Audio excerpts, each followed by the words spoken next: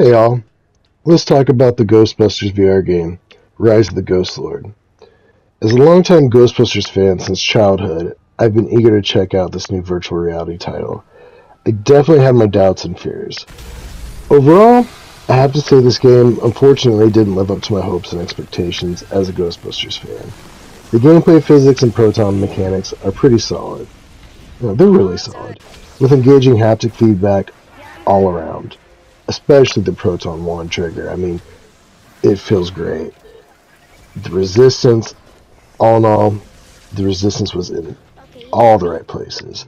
However, the overly cartoonish aesthetic wasn't compelling or fun for me. That being said, the movies were a little cartoonish, but this was a bit much for me. I did find enjoyment in the actual moment to moment gameplay, but it didn't provide the kind of experience I wanted from a new Ghostbusters VR release, coming out right before Halloween, especially. Based on my first impressions, I was just about ready to be done with the game. Then I got online. I met some very young gamers who were clearly having a blast.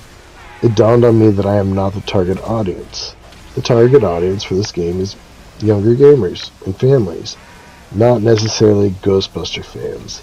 This realization gave me a bit of solace. There is nothing wrong with having a different target audience that I would like. I, mean, I hope not, at least. Viewing Rise of the Ghost Lord through that lens, I was much less disappointed, as my expectations had been for a different kind of game. There is still solid gameplay for introducing virtual reality to a younger generation, families, in a Ghostbuster setting.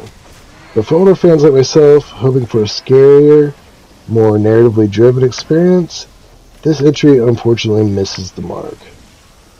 That being said, there are things to do in the game. I will probably play a little bit more online. I didn't completely hate it. Yeah, I, I just didn't love too. it. So, those are my thoughts and opinions for what they're worth. I hope you guys enjoyed the video. If you did, please like and subscribe. It really helps the channel, and I appreciate it a lot. So thanks to everyone who hung out. Take it easy. Have a great day.